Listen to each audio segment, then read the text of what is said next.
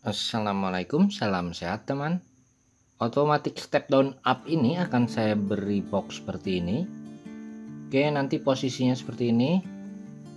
Agar potensiometer dapat diputar di luar box dengan tangan Jadi saya tambah PTFE Teflon Diameter dalamnya 2 mm Dan bentuknya seperti ini. Saya dapat sekitar Rp13.000 per meter Perhatikan diameter dalamnya 2 mm. Ini sangat pas dengan diameter potensiometer multitune yang mempunyai diameter sekitar 2,1 mm.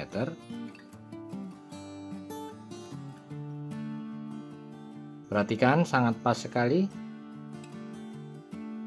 Lalu saya potong dahulu panjangnya sesuai kebutuhan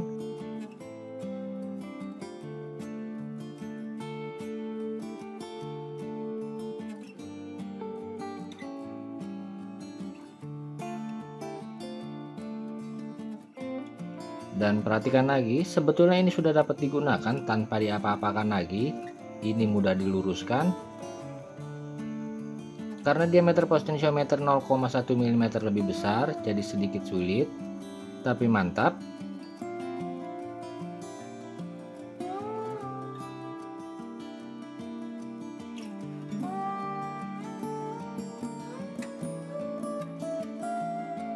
Agar lebih mantap lagi saya tambah kabel tembaga seperti ini. Tembaganya akan saya solder di sini. Sebelumnya kalian harus yakin bersih dahulu sebelum menyolder.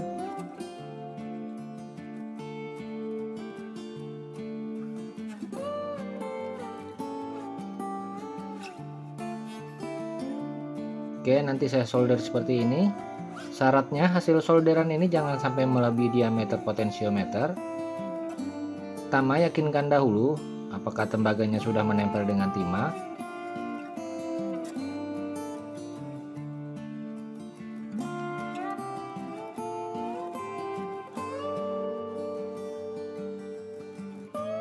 Lalu kalian solder di atas potensiometernya sedikit lama tapi jangan lebih dari 8 detik. Setelah kedua media nempel dengan timah, kalian gabung Prinsipnya hasil solderan jangan melebihi diameter potensiometer.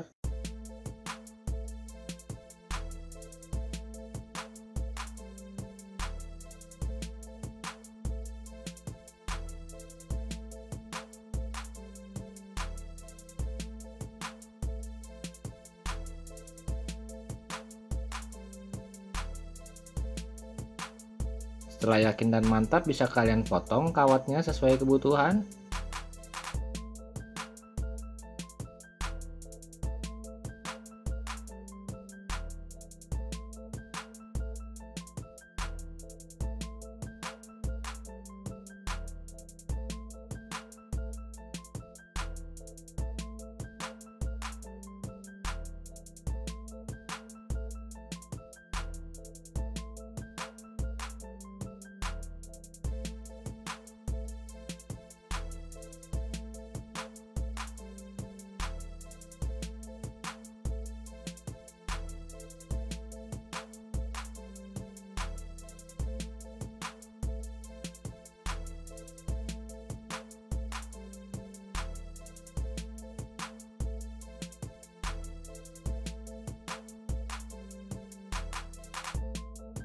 lalu kalian lakukan cara yang sama dengan yang lainnya?